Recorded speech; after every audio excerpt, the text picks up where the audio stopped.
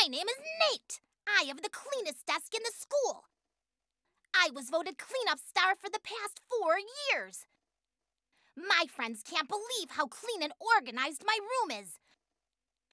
My parents never tell me to clean because I like to do it myself.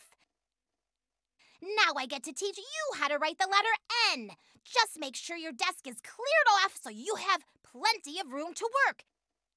Here we go! What the letter N looks like.